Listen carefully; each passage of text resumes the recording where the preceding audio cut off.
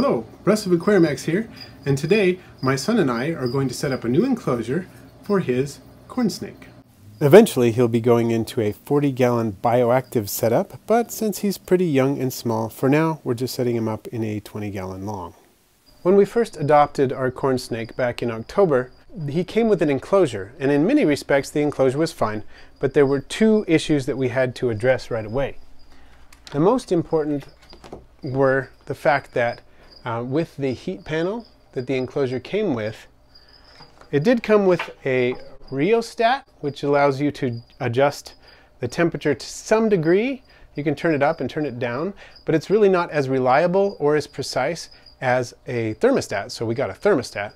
And you can see the ceramic uh, water dish in here. Originally, it came with a much smaller water dish that was kind of pitted, and I was worried that the pitting would be harboring uh, bacteria and so on. So we got rid of that water dish and replaced it with this larger ceramic one, which is much easier to clean.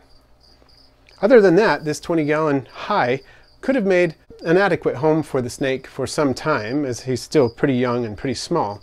But we decided to move him uh, for two reasons. One was that uh, by moving him upstairs, the ambient temperature is just a little bit warmer, so he can be uh, more comfortable that way.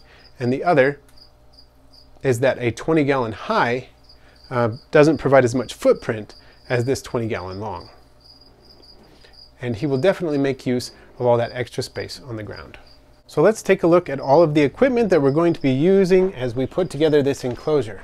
First, we've got this Ultratherm heating mat. This is the 11 inch by 11 inch model.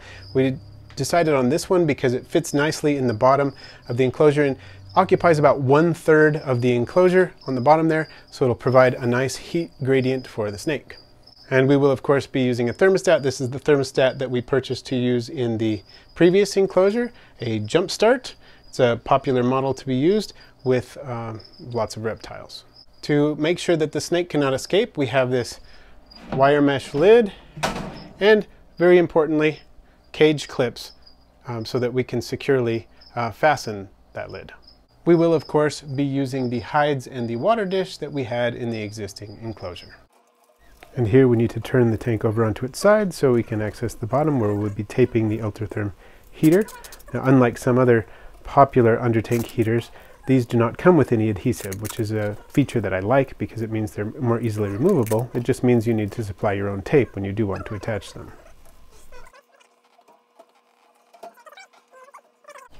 And as you can see here, that heat mat occupies about a third of the vivarium. Perfect. The next step is the placement of the thermostat probe. We run it down through the back corner there, and there's a little suction cup that attaches it so that it's going to be right on top of the heat mat. Okay. Really good placing? Yep, that looks good. Okay, so the next step, we're going to tape down the wire of the um, thermostat probe so it's not in the way. All the tape involved in securing the uh, probe here is on the outside of the enclosure. That's safest for the snake. And now we will plug in the thermostat and we're going to set it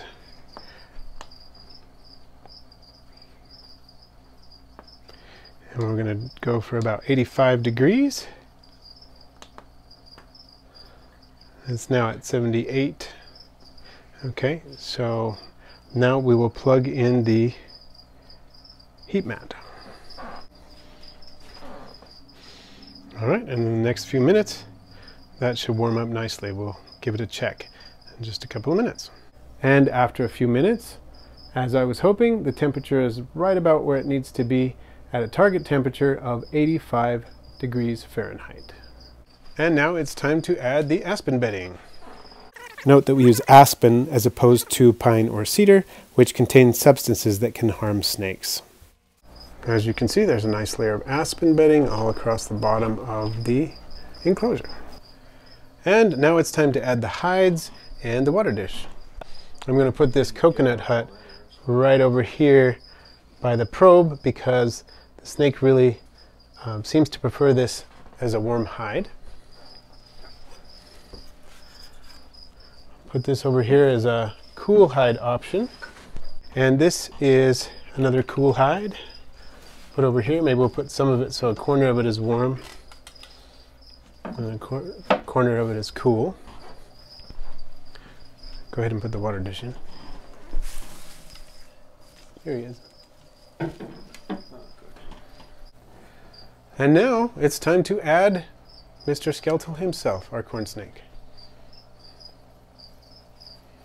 He'll make himself right at home, I'm sure. And now we'll add the mesh lid. We have to be careful not to crush the uh, thermostat probe wire here. So over that side. And the corners are made so that you can do that. It works fairly nicely. Okay, I dropped a clip again. So now we're going to put the clips on. It's important to make sure that the clips are properly fastened.